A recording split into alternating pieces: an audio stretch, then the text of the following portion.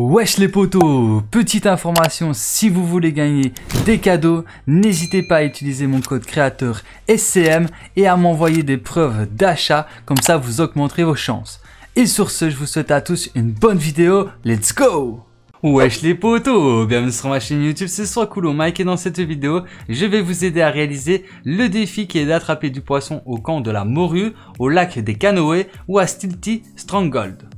Alors pour réaliser ce défi, moi je vous conseille d'aller au lac des Canoës, mais vous pouvez très bien aller au camp de la morue qui se trouve tout en bas, ou alors à Stilty Stronghold. Mais moi je préfère aller au lac des Canoës parce que tout simplement là-bas il y a vraiment beaucoup de cannes à pêche. Donc même s'il y a 2-3 personnes qui vont en même temps que moi, bah, j'aurai toujours une canne à pêche au pire et je pourrai quand même pêcher voire 1, voire 2, voire 3 poissons. Alors pour terminer le défi vous allez devoir pêcher 5 poissons et quand vous l'aurez fait bah, vous débloquerez 24 000 XP.